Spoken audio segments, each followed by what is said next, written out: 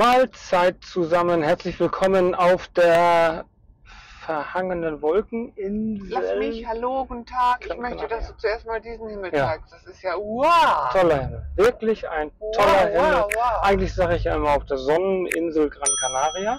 Nur die Sonne hat sich heute etwas versteckt. Dafür sind wieder mal all diese Seidenreiher hier in diesem Jahr mehrfach unterwegs hier in unserer in unseren Grünanlagen. Zum allerersten Mal finden wir diese weißen, hübschen Vögel Ah, ja. hier in Maspalomas. Zuhauf. Die haben wir sonst am Chaka gesehen, wenn man Richtung Leuchtturm unterwegs ist. Da gibt es ja den kleinen See vor dem Atlantik. Und da gab es die hin und wieder mal zu sehen, aber auch nicht in der Anzahl, in der wir sie hier jetzt haben. Ja, wir haben die schon mal gezeigt und mir hat übrigens noch niemand die Frage beantwortet, warum die alle da sind. Ja. Denn das weiß ich bis dato nicht. Irgendjemand wird das wissen, wie immer. Ja. Wir haben immer irgendjemanden unter euch, der das weiß. Aber ich glaube, wir haben die Frage schon mal gestellt und keine Antwort bekommen. Aber Ja, vielleicht jetzt. Man muss die Menschen auch penetrieren. So, so heißt, glaube ich, das Fachwort dafür. Das Fachwort. Ja, Boah, ist der Himmel schön. dunkelgrau und regend verhangen. Da kommt doch was raus. Gestern waren wir ja auch unterwegs, es hat geregnet, auch als wir von San Mateo wiederkamen, aus den Bergen im Norden der Insel, hat es hier in Maspalomas tatsächlich noch ein paar Tropfen gegeben. Ich darf aber nicht vergessen zu erzählen, dass wir auch 27 Grad haben. Also Ja. es ist schon puh, Ja, ordentlich warm. Und äh, wie gesagt, dieses Wetter ist, für mich ist es ein Phänomen. Das habe ich so noch nicht erlebt, so zwei Tage hinterher. Und so, so einen grauen Himmel kann ich auch gar nicht erinnern. es ist, als hätte jemand auf den Knopf gedrückt und gesagt, okay, jetzt ist der Sommer vorbei, jetzt schalte ich mal auf Herbst und jetzt gibt es eine kleine Rummel-Übergangs-Komisch-Phase und vielleicht ist ab morgen Herbst. Das kann natürlich sein. Herbst bedeutet ja blauer Himmel, Sonnenschein, 25 Grad. Ja, wir sprechen hier nicht vom Indian Summer, von der Laubfärbung. Und das ist ja die Lieblingsjahreszeit von vielen, vielen Menschen, die jetzt ja auch alle wieder hierher kommen, weil sie vor dem komischen Wetter in Deutschland, Schrägstrich Europa fliehen möchten. Obwohl jetzt ist ja eigentlich noch nicht so die Zeit, wo wir wirklich das urselige Wetter haben. Das fängt ja erst im November meistens erst an. Ne? Aber viele nutzen dann das wunderbare Klima hier auf den Kanarischen Inseln. Ja, du hast recht. Also alle, die hier letztendlich Eigentum auch besitzen oder äh, Langzeiturlaube verbringen, die über Monate gehen, die fallen so langsam wieder auf der Insel ein. Ja. So, und jetzt möchte ich nochmal, jetzt können alle diejenigen, die mit Technik nichts am Hut haben, vorspulen. Da haben wir ja ein paar von, die sagen, oh, geh mir an Land mit Technik. Das Video, das Video heute dient auch in allererster Linie dazu, um zu gucken, ob die Technik mit dem Ton jetzt funktioniert. Ich will euch ganz kurz was zeigen. Auch, sieht aus, als hätte Stefan nicht im Labor dabei. Es sieht aus, als hätte ich hier eine tickende Zeitbombe im Auto mit dabei. Das bist du. Und ich will euch mal eins sagen, ich habe gestern Abend rumprobiert und rumprobiert und rumprobiert. Und wo ist das hier? Was will ich euch zeigen? Genau. Dieses eine, das hier. Dieses Kabel, das silberne hier, ne? mit dem ist es jetzt möglich, den Ton direkt in die Kamera zu speisen. Das steht aber nirgendwo. Das erklärt auch niemand. Das war alles von mir selbst Ausgetüftelt, da bin ich ja mal gespannt. Und ich bin sehr gespannt, ob ich das richtig ausgetüftelt habe, ob der Ton jetzt direkt in die Kamera reingeht, mit Hilfe dieses einen Kabels. ich kann die Sonnenbrille mal abnehmen, es ist zu dunkel draußen. Na, ich finde, das, das Wetter ist schon noch so, dass man eine Sonnenbrille aufhaben nee, kann. ist viel schöner ohne gerade. Ja, aber es sieht doch viel cooler aus. Also wie bei den Blues Brothers. Wir sind ja auch so ein bisschen wie die Blues Brothers. Im Namen des Herrn unterwegs. Wir sind immer im Namen des Herrn unterwegs und wir fahren das neue Oldsmobil. Nee, Quatsch, wir fahren ja gar kein Oldsmobil, fällt mir gerade ein. Wir fahren ja einen Skoda. Ja? Stefan ist die Hitze des Sommers tatsächlich, glaube ich, auch bekommen. langfristig zu Kopf Ja. gestiegen. Es ist ja auch so. hat er einige Schäden genommen. Wenn diese Kamera zu lange der Hitze ausgesetzt ist, dann geht die ja aus. Und genauso ist es in meinem Kopf auch. Ich bin mit dieser Kamera seelenverwandt. Ne? Ja, aber das so nur nebenbei. Natürlich hat dieses Video auch noch einen anderen Sinn, nämlich den Sinn, wir haben uns überlegt, da wir ja beide so ein bisschen medikamentenabhängig sind, Mittlerweile brauchen wir was gegen Bluthochdruck und was weiß ich denn alles. wir sind in dem Alter, wo man auch wieder zu Weihnachten und zum Geburtstag Geschenke machen kann. Zum Beispiel Pillenbox. Pillenboxen. so Pillenbox mit Strass, mit Glitzer Ja, bloß auch. Oder bei mir vielleicht irgendwas anderes. Und da gibt es ja auch mittlerweile sehr, sehr viele Varianten, die man käuflich Gibt es erwerben bestimmt auch kann. hier beim Chinesen. Gibt es bestimmt. Weil hier ja auch so viele Leute unseres Alters Ja. unterwegs sind. Meine aktuelle Pillenbox ist ja auch vom Chinesen. Ja? Mhm. Meine glaube ich auch. Oder aus dem 1-Euro-Laden. So, auf jeden Fall ist es so, wie ist es eigentlich, wenn man Medikamente benötigt? Wie zum Beispiel Menschen in unserem Alter sind häufig dabei, dass die Blutdruckpräparate benötigen. Unterschiedliche Präparate, auch in unterschiedlicher Anzahl. Und ähm, bei mir persönlich ist es so, ich kann natürlich nur von meiner Situation sprechen. Wenn wir hier Medikamente in den Apotheken kaufen, dann kaufen wir sie ja quasi privat, weil wir ja in Deutschland krankenversichert sind.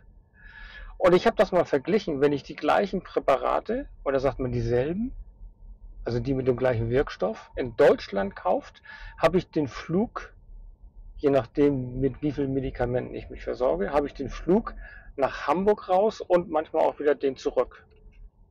Ich finde das ja viel spektakulärer. Das geht gar nicht darum, dass man Medikamente günstiger oder teurer bezahlt, sondern es geht darum, dass man hier in Deutschland wirklich heftig verschreibungspflichtige Medikamente einfach so in jeder Apotheke bekommt. Das ist noch ein Auch in, zusätzlicher in jeder. Dosis. Ich weiß nicht, ob das von Vorteil ist. Also, und es Naja. gibt auch Medikamente, nee, die gibt es auch in Deutschland, aber wie gesagt, verschreibungspflichtig. Ich bin extrem herpesanfällig, also Lippenherpes mit zu viel Sonneneinstrahlung. Äh, wobei ich immer so einen 50er Lichtschutz auf den Lippen habe. Aber trotz alledem, die Jahre, die wir jetzt immer mal hier verbringen, habe ich schon wieder mit diesem Mist zu tun. Und wer Herpes kennt, der weiß, wie unangenehm und eklig das sein kann. Und wie das das Immunsystem auch schwächt. Also bei mir ist es auf jeden Fall so. Und hier habe ich jetzt Tabletten entdeckt, hat mir jemand empfohlen, hat gesagt, es gibt da auch Tabletten. Du musst nicht immer diese komische Zovirax-Salbe oder diese Pflaster nehmen. Ich nehme jetzt diese Tabletten, die ich hier verschreibungs nicht verschreibungspflichtig bekomme. Die helfen wie Bolle. Also dieser Herpes bricht erst gar nicht aus. Er ist zwar da, weil ich ihn merke, aber es ist nicht so ein, ein, so ein ekliges äußerliches Gefühl, das man hat, wenn man diese Lippenbläschen hat. Lange Rede, kurzer Sinn. Ich bin so froh, dieses Zeugs hier nehmen zu dürfen.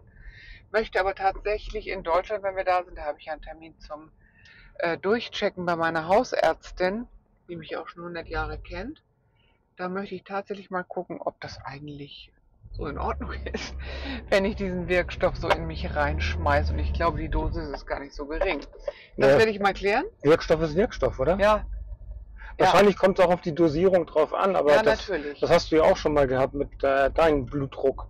Nee, das war keine Blutdruckgeschichte, das war, ach, was war denn Irgendwas das? war das, wo du gesagt hast, eine Vierteltablette wäre Ja, die- genau die genau, Dosis. Ne? genau. So.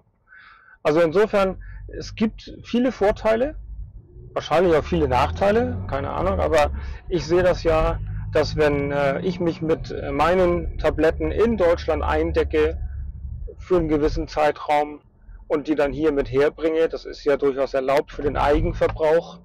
Manchmal komme ich mir ein bisschen vor wie ein Dealer, aber, Ja, Mann, ich versorge mich ja auch. aber das ist ja tatsächlich nur für mich. Mhm. Und äh, das ist halt deutlich günstiger, als die hier auf Gran Canaria zu kaufen.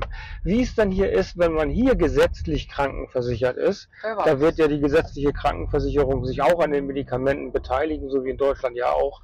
Das kann ich natürlich nicht beantworten. Wahrscheinlich wird es dann wiederum günstiger sein, wenn man das über die gesetzliche spanische Krankenversicherung. äh, nochmal auf ein. Medikament sprechen zu kommen. Also bei mir ist es nicht der Blutdrucksenker, sondern ein Beta-Blocker tatsächlich, den ich in einer ganz, ganz, ganz geringen äh, prozentualen Wirkstoffkombination nehme, wenn man das so richtig ausdrückt. Ich kenne mich beim Medizin nicht so aus. Wobei, wenn man was anderes sagen würde, Du hast das studiert. äh, Fachbereich jeglicher Art. Lange Rede, kurzer Sinn. Also hier gibt es das in einer wesentlich höheren Dosis, ohne ein Rezept vorzulegen. Und da musste ich mir mal eine Tablette vierteln. Und das war gar nicht so einfach, weil die hatte keine Rillen zum Vierteln. Also habe ich da rumgebröselt, weil mir waren die hier ausgegangen, die, die ich aus Deutschland hatte. Ja, so ist das hier, ne? Hier kriegst du alles irgendwie. Ja. Manche sagen, sieh zu, solange du es noch bekommst, hier ändert sich auch ständig was. Deshalb will ich jetzt mal zur nächsten Apotheke und zusehen, dass ich nochmal was Ja.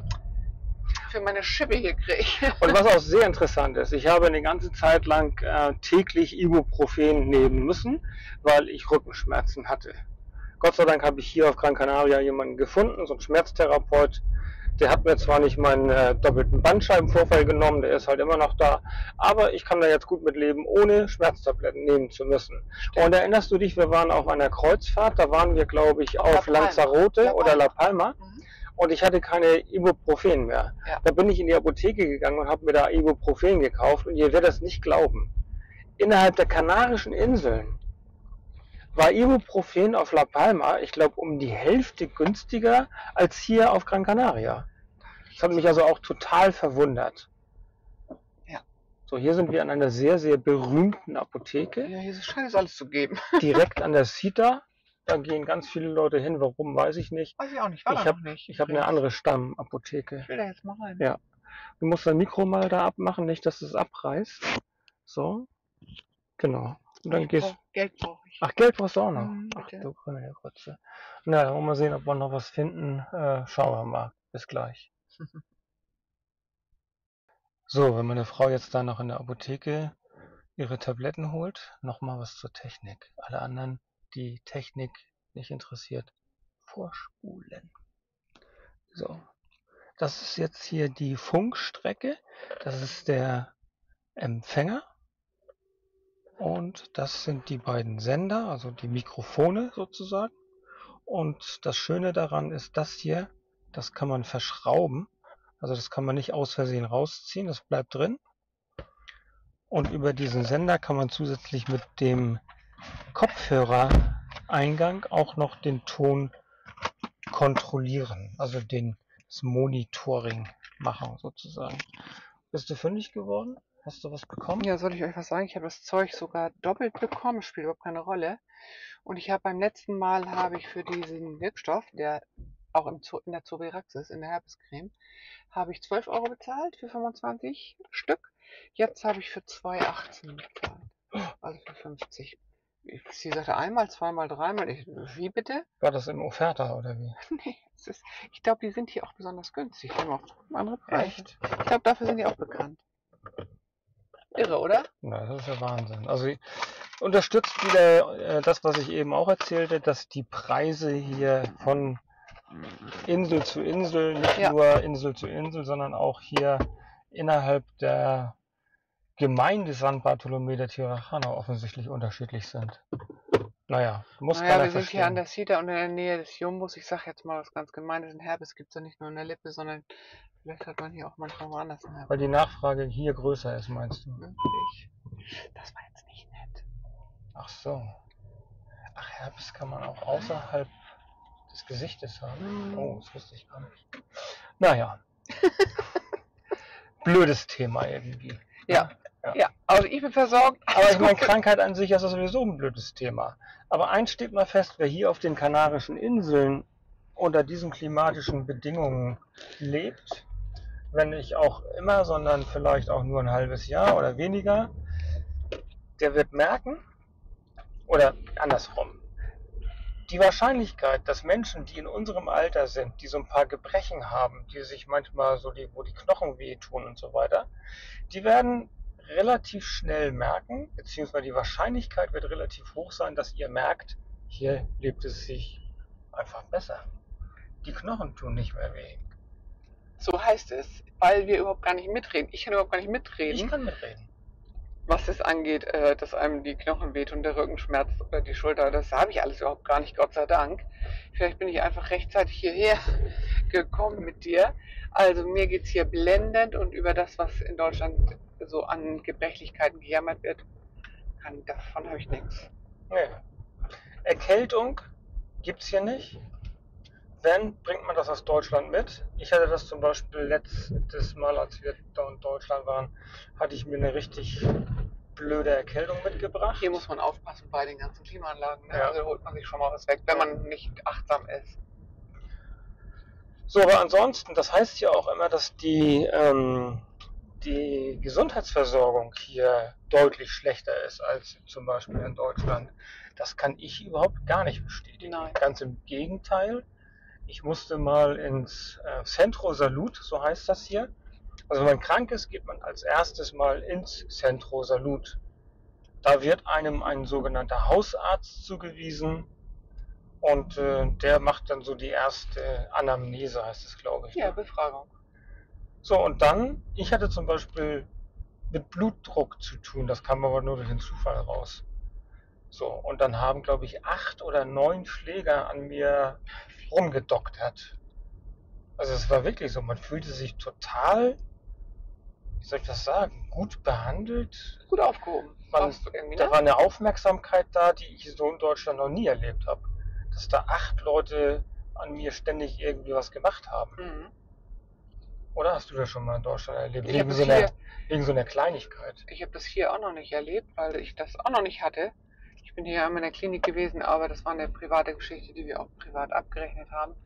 Die war dann auch, da haben sie es auch vom Lebendigen genommen. Ne? Ja, da machen die Mache ich, das auch tolle nicht, mache ich auch nicht wieder, das war, war dämlich von mir, Ja. dahin zu gehen, weil ich dachte, oh, das Beste für mich und so. Quatsch. Die anderen, bei den anderen ist genau das Gleiche. Was man dann nochmal abklären muss, ist, was beinhaltet jetzt die Leistung der gesetzlichen Krankenversicherung in Spanien eigentlich ganz genau. Das kennen wir ja nun aus Deutschland auch. Das ist, heißt ja, der, ich sag mal, der Heilpraktiker wird bei der Krankenkasse voll bezahlt, bei der wird er gar nicht bezahlt und bei der kriegt man die Hälfte. Und ähm, also es gibt ja Beispiele genug, diese sogenannten, wie heißen die noch, Igel-Leistungen, glaube ich. Ne? Individuelle, individuelle gesundheitliche Leistung, die man extra bezahlen muss, gibt es halt bei der einen oder anderen Krankenkasse äh, schon inklusive. Oder das Thema Krankenhausaufenthalt mit wie vielen Leuten zusammen in einem Zimmer und, und, und, und, und. Oder Prophylaxe. Ich sag mal, ich zahle hier für eine wirklich gute Zahnreinigung, zahle ich 60 Euro für die gleiche Leistung bei auch wirklich einem super guten, in einer super Praxis. Habe ich aber locker 110 Euro bezahlt. So Ja. ist das. Aber als Fazit kann man sagen, wer hier gesundheitliche Dienstleistungen in Anspruch nehmen muss oder Ja. möchte, tun. aus unserer Sicht ist man hier wirklich sehr, sehr gut aufgehoben. Genau, selbst wenn man kein Spanisch spricht. Das tun wir ja auch nicht. Wir sprechen so ein bisschen Spanisch und können, kommen in Restaurants und dergleichen gut zurecht und beim Einkaufen. Aber wir sprechen kein Amtsspanisch und können uns auch beim Arzt nicht wirklich Spanisch ausdrücken. Dort ist immer jemand, der Deutsch mit uns spricht oder der übersetzt oder man nimmt halt jemanden mit. Leute, Ja. alles möglich. Also in aller Regel ist es so, dass die Kliniken hier immer deutschsprachiges Personal auch haben. Ja, die sind ja auch- Dolmetscher, ne? Ja, wäre wär auch irgendwie komisch. Man hat hier ganz, ganz viele deutsche Residenten, viele, viele deutsche Urlauber, Ja. viele deutsche Ärzte, die sich hier niedergelassen haben. Dann wäre es ja irgendwie an der Realität vorbei, Genau. wenn man hier ins Krankenhaus geht und da keiner Deutsch versteht. Genau. Obwohl natürlich, wie immer, immer mit dem schlechten Gewissen, wenn wir sowas erzählen, eigentlich müssten wir auch mal fließend Spanisch sprechen können. Ja, Aber wir sind dazu faul. Ja. mm, weil man so gut zurechtkommt. Wir haben ja auch gedacht, man wird hier ganz viel mit spanischen Menschen zu tun haben. Haben wir in der Nachbarschaft auch. Aber unser soziales Umfeld, wir haben es bestimmt schon mehrfach erzählt, ist halt urdeutsch. Ja. So ist es. Und wenn wir mit unseren spanischen Nachbarn in der Anlage, in der wir unseren Bungalow haben, wenn wir da was zu bequatschen haben, dann geht das auch irgendwie mit Händen und Füßen. Genau, oder mit Übersetzer. Geht Ja. alles. Aber alle diejenigen, die jetzt Kritik an Menschen üben wie uns, ihr habt vollkommen recht. Es Ja. gehört eigentlich dazu, dass man auch die Landessprache spricht in genau dem. Land, in dem man sich aufhält. Ja. Und wir waren ja gestern in den Bergen und da hatten wir ja auch mal geliebäugelt, uns dort Eigentum anzuschaffen. Mhm. Und da wurde mir klar, wahrscheinlich, wenn wir uns dort angesiedelt hätten mit unserem, äh, mit unserer Casa, mit unserem Haus, dann wäre es wahrscheinlich, hätte es länger gedauert, soziale Kontakte zu knüpfen, weil das ist auf dem Land, wirklich auf dem Land, da gibt es Mhm. nicht so viele Menschen. Und dann hätte man zwangsläufig wahrscheinlich Spanisch sprechen müssen. Du hast recht. Wir, das haben wir gestern drüber gesprochen, ne? Hier in der touristischen Zone ist einfach die Notwendigkeit nicht da. Ich kann mich an die Anfänge erinnern. Das war für mich auch schon wieder total witzig, weil da habe ich mich im Restaurant abgemüht, die spanische Speisekarte zu lesen und auch Spanisch zu bestellen. Und das hat ja ein bisschen gedauert, weil es war ja sehr neu für uns. Mhm.